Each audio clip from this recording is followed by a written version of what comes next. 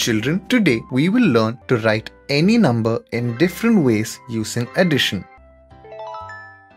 Chanda squirrel, bunny rabbit and Babbin monkey decided to build a house in the forest. Babbin told Chanda and Bunny that they should build a house together so that their house is the strongest. But Chanda and Bunny refused and said that they will build their own separate houses. Chanda collected 83 thin twigs for her house and built her own small house.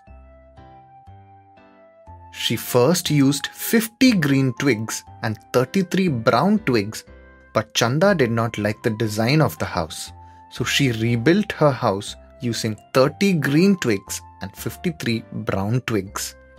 So, how many thin twigs did Chanda use this time? Chanda again used only 83 thin twigs. Yes, children, any number can be represented by the addition of different pairs of numbers. Chanda can build her house with 83 thin twigs, choosing different combinations of green and brown twigs. Can you split this number in more ways? Bunny built his house with 124 pieces of wood. He built his house using 100 pieces of black wood and 24 pieces of yellow wood. If Bunny used 80 black wood and 44 yellow wood, would Bunny still have used only 124 wood?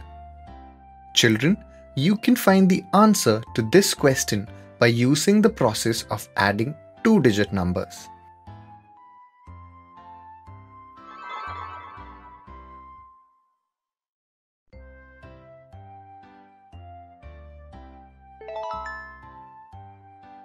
Yes, Bunny will use a total of 124 sticks using 80 black and 44 yellow wood.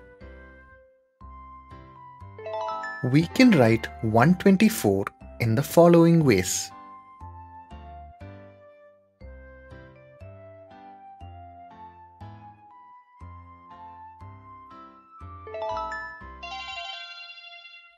Babbin built a very simple house using only 78 bricks. He used 50 white colored bricks, 18 red colored bricks, and 10 brown bricks. Can Babbin make a house with different combinations of white, red, and brown bricks and still use a total of 78 bricks? Let's complete this table and find the answer to this question.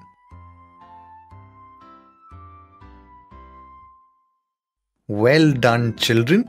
This table is filled in the right way.